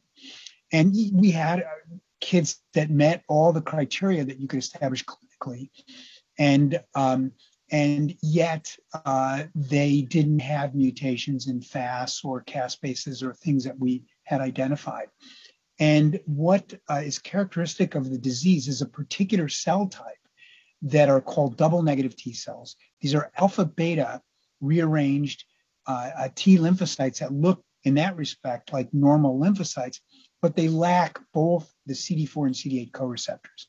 And mm-hmm. these can build up to extraordinary, extraordinary levels in these patients.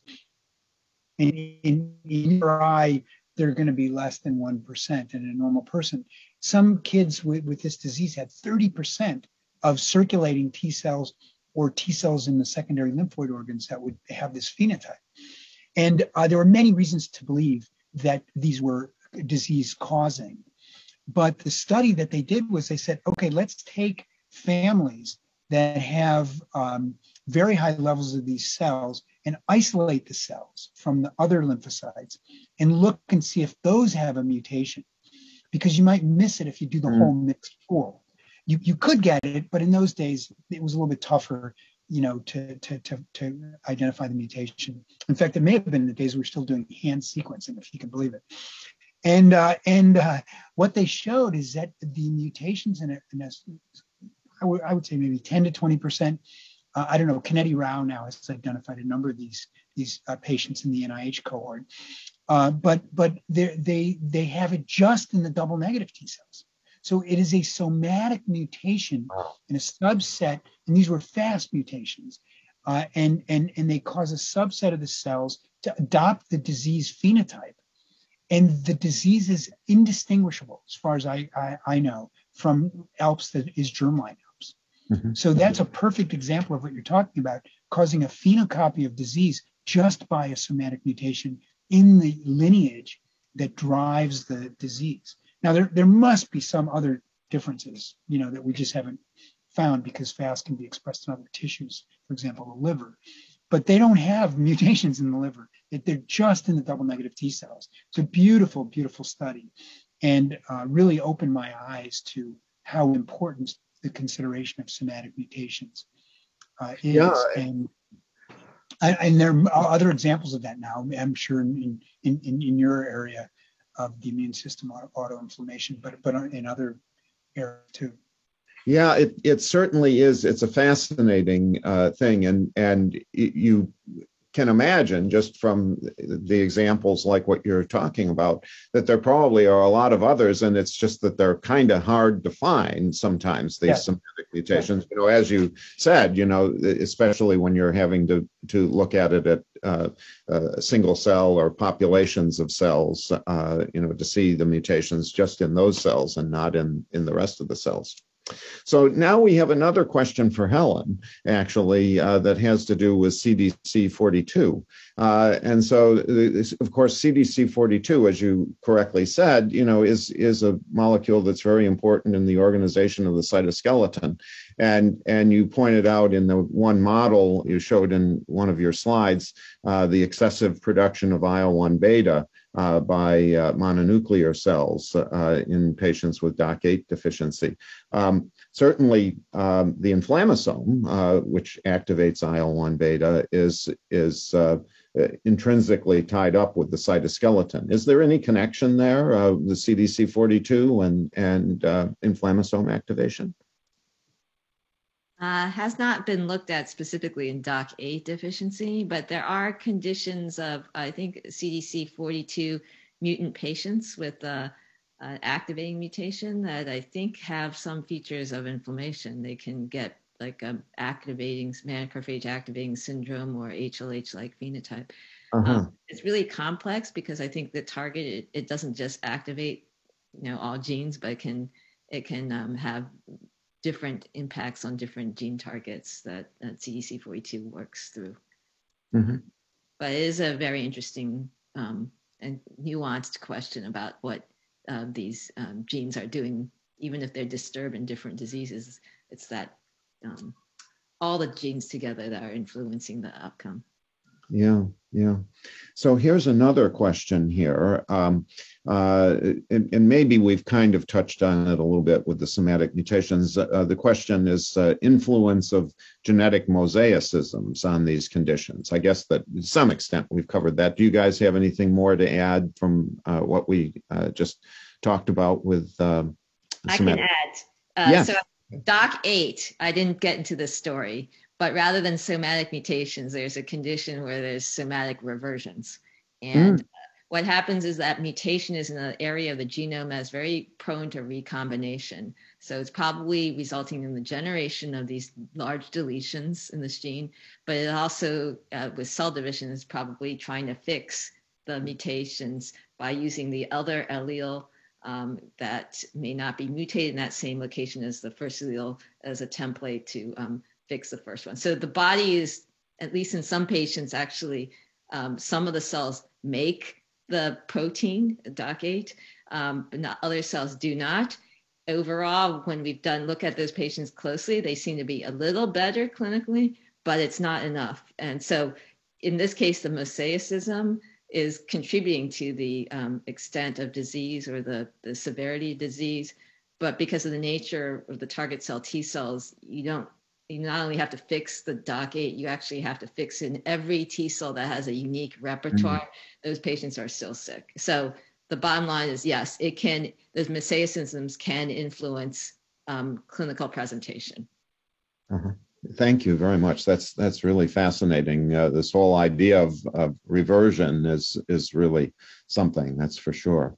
So then we have another question uh, having to do with um, uh, the rare variants. That this is sort of going back to Mike Lenardo's uh, early slide with regard to the rare variants and the common variants and so forth. So, do you ever have a situation in which some gene that has been uh, identified where the spotlight has been put on this gene uh, by one of your Mendelian studies. Uh, do you ever find that there are common variants in that gene that are associated with, you know, uh, more common diseases, you know, with uh, with common variable immunodeficiency disease or with um, autoimmunity or whatever?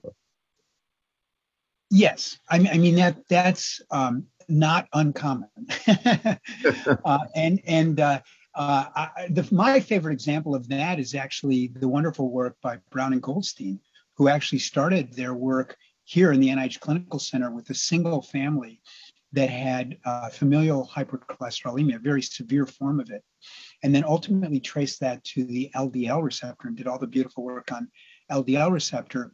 And I believe that that um, in, in among uh, individuals in the normal population that have sort of um, uh, a distribution of high cholesterols, not not an explicit single level, but but rather distribution, you do find higher levels of various kinds of uh, I don't want to call them um, minor alleles, but but they're they're sort of variants that that that do affect function, but not as severely as a complete loss.